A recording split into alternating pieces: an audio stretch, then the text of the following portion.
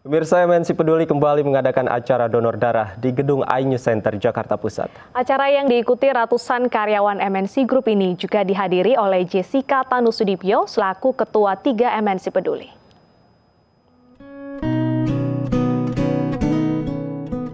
Upaya berbagi terus dilakukan oleh MNC Peduli, salah satunya dengan kegiatan donor darah. Kira-kira manfaatnya seperti apa ya donor darah? Yuk kita coba. Darah merupakan salah satu kebutuhan penting dalam dunia kesehatan. Sayangnya sering kali kebutuhan darah untuk pasien lebih besar daripada yang bisa disediakan oleh PMI.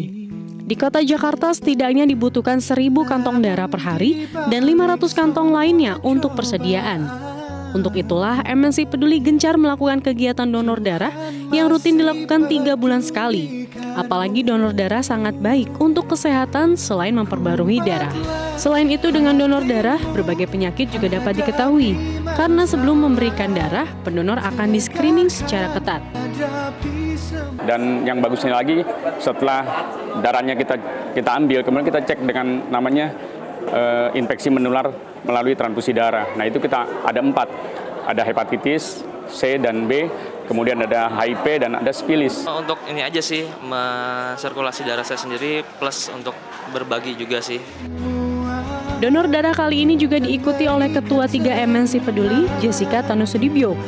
Jessica rutin melakukan donor darah untuk sebagai bentuk kepedulian dengan sesama.